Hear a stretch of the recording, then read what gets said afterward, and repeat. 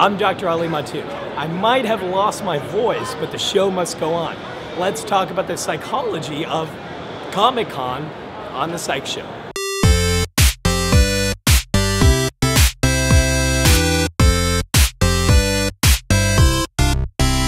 It's the last day of San Diego Comic Con and I'm finally starting to get my voice back. I had an awesome time this year being on a few panels, meeting up with some old friends, and making some whole new ones in the process. I also got to do a lot of fun, geeky things like laser tag, high-fiving Orphan Black's Tatiana Maslany, and getting to meet all my favorite YouTube heroes from Nerdist News. But what exactly is Comic-Con? It's a living, growing, thriving community.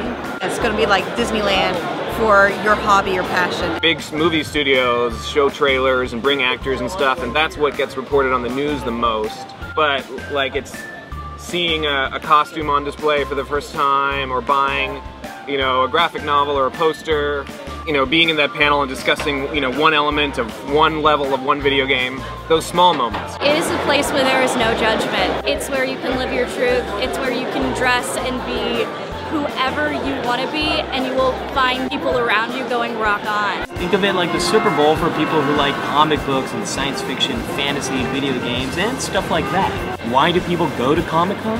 I come to Comic Con because I love connecting with friends. Uh, some of those friends I've not even met yet, but you know, this is a place where a lot of us have the same passions. It might be for different fandoms, it might be for different stories, but we all appreciate really just loving a story or a character that's beyond ourselves and talking way too long about what it means. I just think this gathering of people is so cool. I just love seeing how uh, this thing that can sometimes feel like you know myself in my own little world. There's just there's hundreds, if not thousands, of people who are all interested in, in, in my tiny little thing. So many kindred spirits. It's so great to be with people that like the things that you like, that support the things that you like, even if they don't know what it is that you like, they're still supporting you. It's just fun. it's like recharging my batteries, my geek batteries.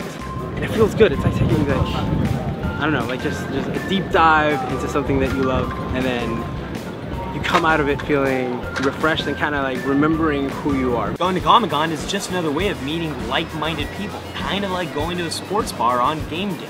Wanting to connect with other people is hardwired into our brain. Think of being social as humanity's superpower. Comic-Con also gives you an opportunity to meet the people who make the stuff you love. If you sit through enough panels, you'll notice a pattern. Fans talk about how much these stories mean to them. I just went to a signing at the Funko booth with Bryan Fuller, and just being able to say like, hey, by the way, your show made me want to write a TV pilot, and that TV pilot just sold.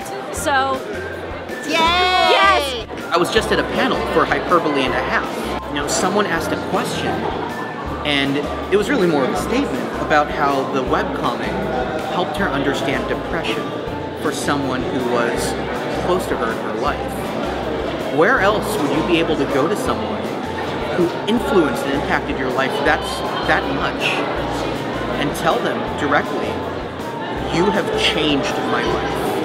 It's all about gratitude, a super emotion that not only lifts your spirits, but lifts up the mood of everyone else there who's able to witness it. What about cosplay? I like to cosplay partially because I'm pretty crafty and I enjoy building. I also really like to show externally what I like when I've had to hold it in for so long and letting it out is a fun experience. When you are a kid, like people encourage you to like dress up for Halloween and you can walk around in your Snow White dress and no one cares. When you're adults, like you need to dress in a suit and you need to walk around and be an adult. And I'm like, no. I want to dress up in a funky wig and right. have cool costumes and be somebody else for a day. Kind of also taking a take, your own personal take on something you like. It's just a chance for me to dress up like my heroes. There's nothing better for one's self-esteem because I love Dana Scully than like strangers just being like Scully, yeah, and then we get to talk about X Files. Dressing up like one of your favorite characters is just another way of expressing your identity, like wearing a baseball hat or a football jersey. Now, there is an ugly side to Comic Con. Large gatherings like Comic Cons, concerts, parades, and big sporting events can lead to something called deindividuation. People don't feel like an individual. They get lost in the crowd and feel like they can get away with things that they wouldn't otherwise do. That's why some cosplayers get harassed at Comic Cons. Yeah, I've had some like creepy guys over the years kind of want to take pictures and stuff. I do like one-off, but if I'm not really feeling it, then usually I have my other friends that are like, look that way, and then they're like, we're gonna kind of go this way. Look that way. exactly. The good news is all it takes is a few people to stand up to create a surge of support in a crowd. Actually, the other day I saw this guy with a really big camera. He was zooming in on this one girl, and uh, she didn't know.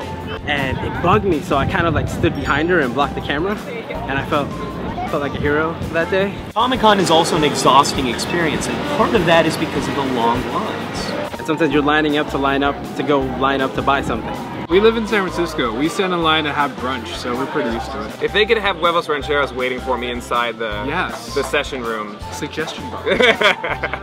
Why do people keep coming back despite these long lines? How you feel at the end of a long line is very important. If the line starts to speed up towards the end, or took less time than anticipated, or if you have an awesome time at the panel you waited for, your memory of the experience of waiting in line is totally changed. I love the lines. That's where a lot of the human connection happens. You strike up conversations with people you normally probably wouldn't even say hi to. Oh, nice Batman hat. Oh, I went to the Batman panel. I love Batman. I hate Batman. Pro tip, want to make a new friend at Comic-Con? Turn to someone in line with you and ask them what they're excited to see today.